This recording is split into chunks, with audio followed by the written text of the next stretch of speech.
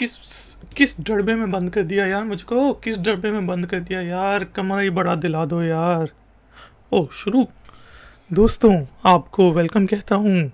आई फैक्शनर के learning video tutorials में, आज के वीडियो ट्यूटोरियल में हम इंग्लिश के वर्ड बीच के स्पेलिंग सीखेंगे मीनिंग्स को सीखेंगे हिंदी और उर्दू में, और फिर वर्ड बीच को यूज़ करते हुए कुछ सेंटेंसेस बनाएँगे।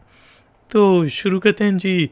आज का वीडियो ट्यूटोरियल वर्ड है बीच बी ई ए सी एच बीच बीच समुंदर के साहिल को क्या कहते हैं? किनारे को कहते हैं। जैसे कि समुंदर और रेत जहाँ पे होती है, उसको बीच कहेंगे। जैसे हम कहेंगे let's go on the beach चलो बीच पर चलते हैं। या फिर she is on the beach वो इस वक्त बीच पर है। दोस्तों, वीडियो को लाइक ज़रूर करें शेयर ज़रूर करें और चैनल को सब्सक्राइब करें।